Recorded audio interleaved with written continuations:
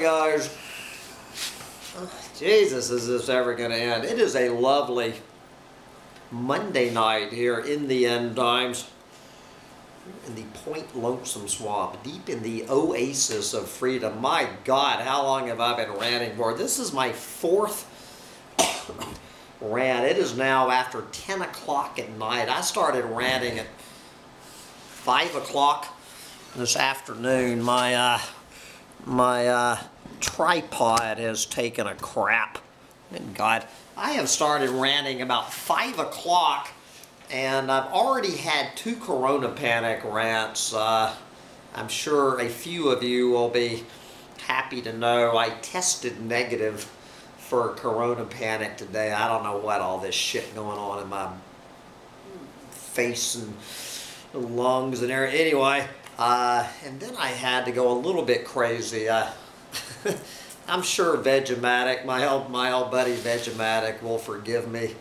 So uh, I love my brother. But anyway, before I got sidetracked on this whole uh, convoy for freedom up there in Canada, and for the record, obviously, I am cheering on the, the eco-Nazi cheering on all of those 18-wheel uh, all those 18-wheeler driver truckers in Canada, yes, and, and eco-Nazi cheering on truck drivers. There, you just gotta love it. The original uh, Corona Panic uh, story that I was going to do was something to do with Canada. It was about this uh, clueless uh, fucking moron from Canada, some newspaper columnist, name doesn't mean anything to us down here, who came down here to vacation in Florida.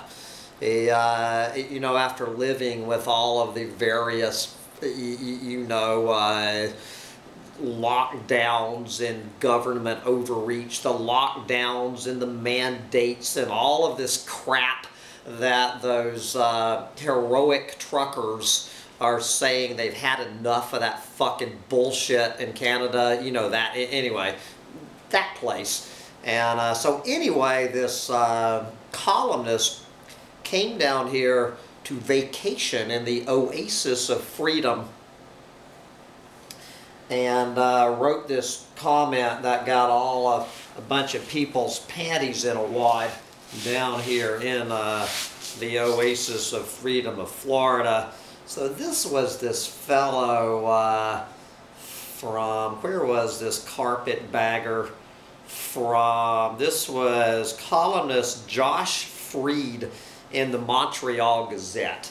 And so originally I was going to make this a major rant. I was going to read the column that he wrote in the Montreal Gazette and just, you know, go through it sentence by sentence to clarify the record. You know, I was just ranting uh, about Canadians, not knowing anything about Canadians. So this motherfucker comes down here not knowing anything about how we're living down here in the oasis of freedom, runs off at the mouth, uh, kind of like I just did, running off the mouth about something going on in Canada I don't know anything about. But anyway, so but I just, I like this version and this story from Axios that, that looks at this and, and looks at a few choice quotes and I'm going to make a, just a few comments. So we're going to take Axios's uh, digest version of this. So take it away, Axios. One Canadian's take on Florida's pandemic response. Now that you've heard a Floridian's take on Canada's uh, corona panic response, we're going to flip the coin here. a Canadian journalist who vacationed in Florida and then made fun of the Sunshine State has stirred up a social media hornet's nest of debates about individual liberty and government mandates. Alright, so, and then they just go through a few of the, the choice quotes from this carpetbagger Josh Freed in the Montreal Gazette. Okay, quote number one while Quebec is in full confinement mode, Florida is cowboy land, where you barely know COVID is happening, despite much higher new case and hospitalization rates than ours. And uh, so when this came out, as I've mentioned several times, I'm going to mention this one more time. I think it was the same day this column came out. Uh, it was, uh, you know, every week what they do, at least down here in the 50 states. Now, unfortunately, they don't include Canada as the 51st state, which we all know what fucking Canada is. It's the 51st state. You're all a bunch of uh, American wannabes. Admit it.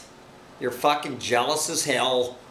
Uh, anyway, but uh, what it, what was being reported, I'm pretty sure it was the very same day that this uh, came out, was you know where they rate the new uh, you know the new case and hospitalization rates for the 50 states. Florida was placing number 37 you know, the 37th out of 50. Uh, so in other words, 36 out of 50 states had a higher case and hospitalization rate than Florida, uh, while 12 states had a lower rate than Florida.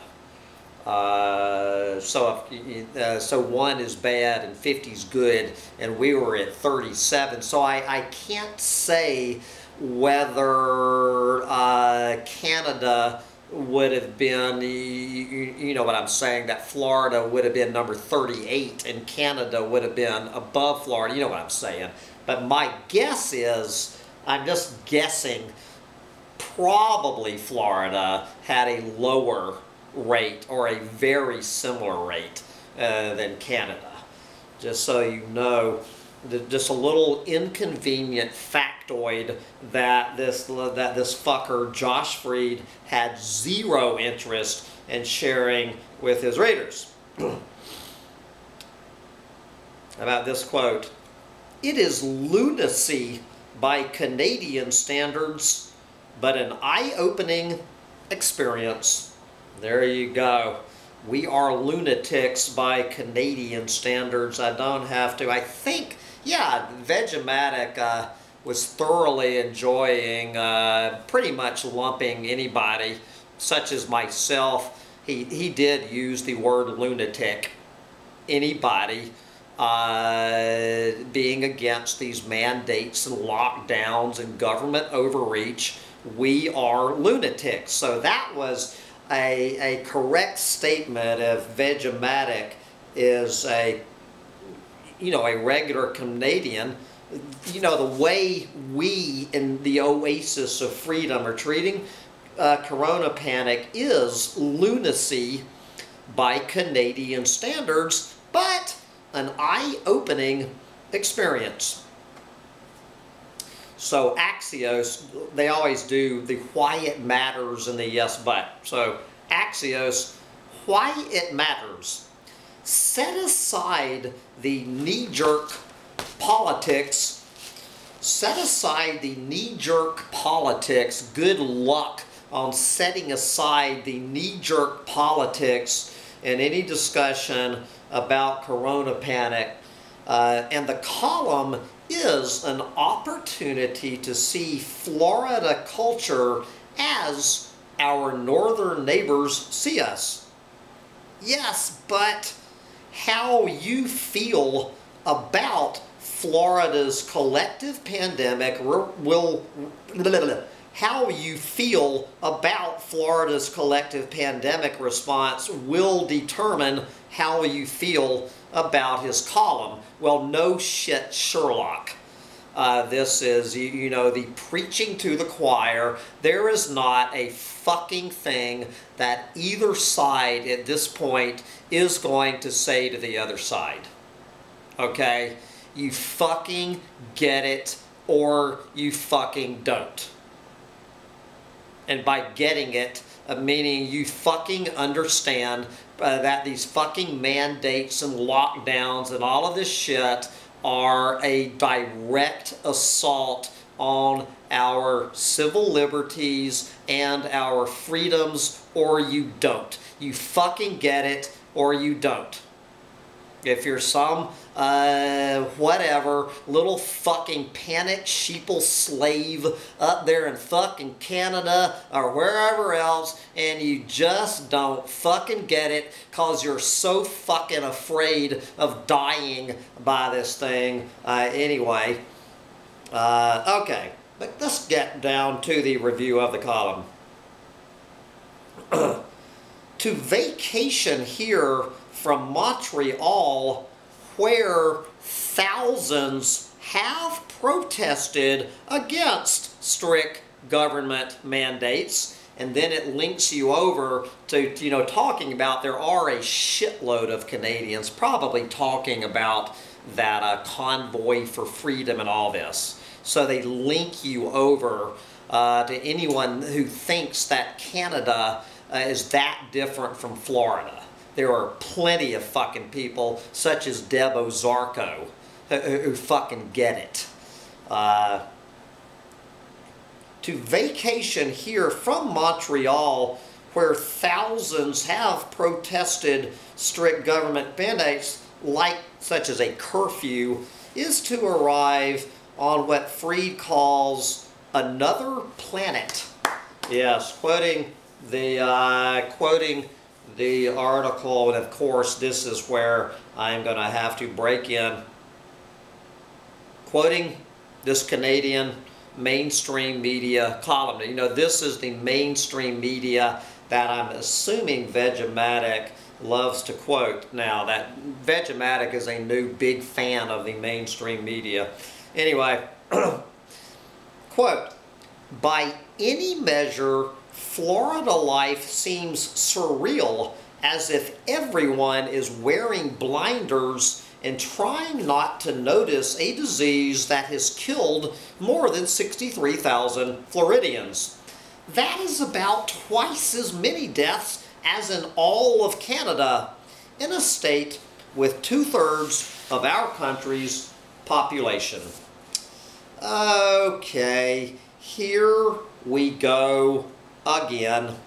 All right, we go over to a percentage calculator and we go through, I've done this with Florida before, we're going to do it again and then we're going to go over to percentage calculator and translate what twice as many deaths in Canada in a state with two-thirds of our country's population, what is the comparison? Here we go again. So uh, I'm just going to get to the numbers because uh, now my computer battery is dying.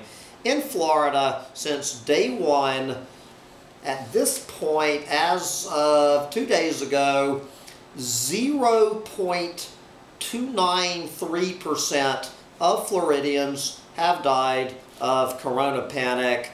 Uh, we're going to call it 0.3, so that means 99.7% of Floridians have not died of corona panic. And then we go to Canada and we crunch their numbers.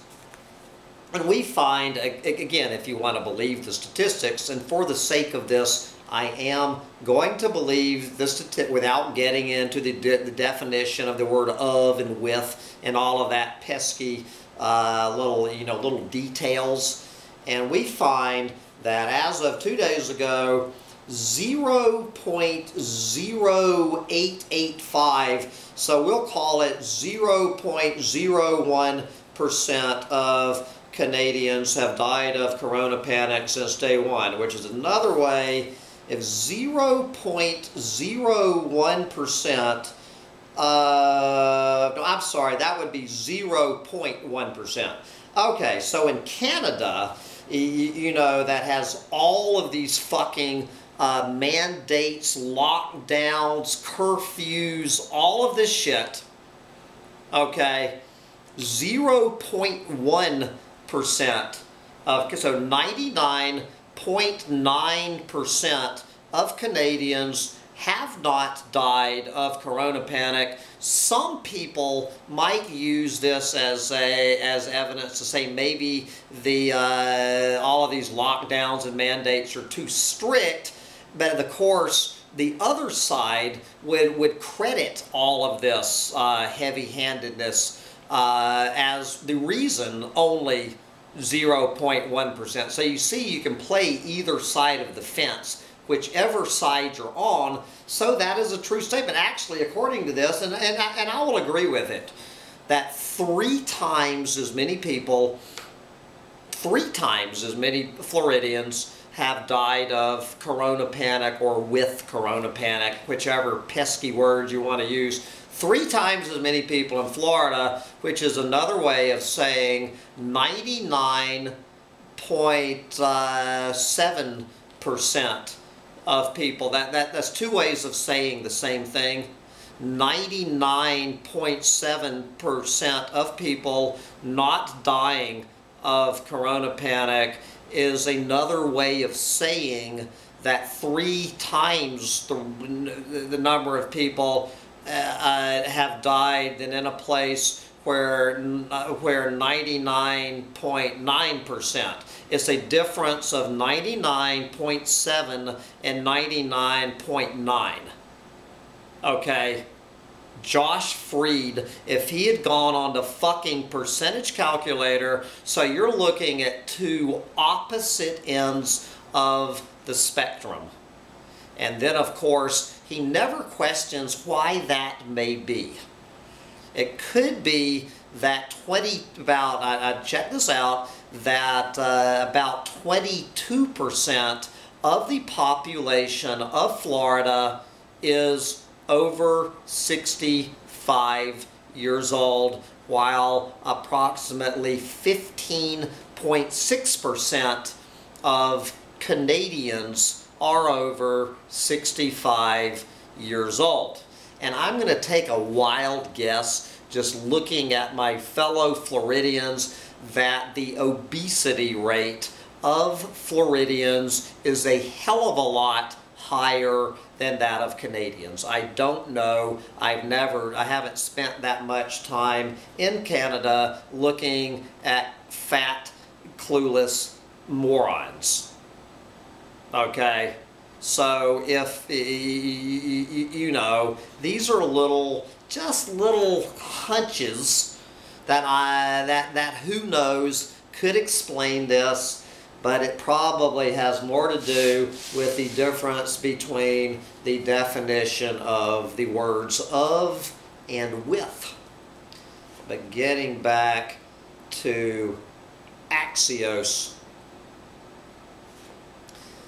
Freed was shocked that our packed stores and restaurants do not require masks and that some servers and clerks wear masks under their chin, what Freed calls Florida style. I love all the Florida styles. I like the over the ear where the uh, mask dangles off of one ear. We have the under the chinners. We have the dangling, we have the ear danglers. That's my favorite one. Of the Florida style uh, mask wearing. Uh, of course, uh, some of us have never put on a mask in at least the past three months. Uh, Freed was shocked that some servers and clerks wear masks under their chins, Florida style. We, meaning here in the Oasis of Freedom, we gather for games, movies, drinks, etc. Our news media does not focus non-stop on COVID and neither do our social interactions. Uh, we actually have something other to do with our lives. You would never tell it here on Monday. Uh, in Florida, you can go, uh, it's unbelievable. Uh, it, it, it's so uh, 2019 in Florida. We're going along, our, you know, along about our lives. Our news media does not focus non-stop on corona panic and neither do our social interactions. So quoting the uh, article again, quoting Freed, in Florida, entire conversations happened without the C word mentioned. Yes, imagine that, having an entire conversation without mentioning the single biggest distraction in the history of humanity, preferably having the conversation in a packed restaurant, a packed bar, uh, a, a music venue where you can actually get together with tablefuls uh, uh of unmasked uh, friends of yours uh, and talk about something other uh, than the single biggest distraction in, in, the history of humanity. Uh, the bottom line, according to Axios, is there is uh, what he calls a psychological upside there is a psychological upside in Florida that Freed found appealing, quoting Jonathan Freed, we Montrealers live in a tense, depressing, pandemic bubble. All COVID, all the time, which is why many people avoid following the news, close quote, between the lines, as Freed points out, thousands of people from Quebec have considered moving to Florida. There you go, and I will not mention any names of a uh, of a Canadian that I know uh, expressed a, uh, a, a, a, very strange interest that I, uh, in moving to Florida. I have heard from a Canadian in the past few days expressing an interest that they're so fucking fed up with it that they are, uh, I, like, like, there's ham bone down there. And, uh, yes, I did take a corona panic test today, and uh, here I am, uh, somehow miraculously, how the hell did, has, does Hambone test negative for corona panic? What is it about that guy? Never put on a mask since the day I got down here. Uh, you can decide for yourself whether or not I have taken the jab. Take a wild guess. Uh, like Ron DeSantis, I'm going to let you figure that out for yourself. Uh, I have been hanging out uh, all winter in packed restaurants, packed bars, uh, grocery stores, laundromats, going about my fucking life uh, having guests over, uh, visiting friends, not counting my brother, uh, who I you know who I'm not allowed to speak. it, it is uh, it is another fucking day on the planet here in the oasis of freedom. And any Canadian who wants to come hang out down here in the oasis of freedom, I should be here till uh, about April.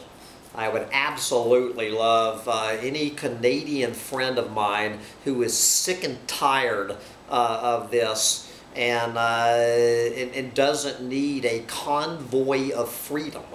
Uh, just come down here and live your fucking life Anyway, that's going to wrap up my third and final uh, Corona Panic uh, Chronicle of the day, of the week from uh, the Oasis of Freedom. And uh, assuming I still have a channel, uh, we will come back to Corona Panic uh, next Monday and we will figure out what the hell we're going to talk about between now and then. But I got to go to bed. I've had a long uh, Monday of ranting about Corona Panic, and I and I'm not feeling that great. Uh, so I have to go sleep off this fucking cold or whatever is trying to sneak into my body down here in the oasis of freedom and get some beauty sleep while I still can. Are you ready to go to bed? You better not lick my nose. You might get some virus. Bye, guys. All right, little dog, we're gonna head to bed.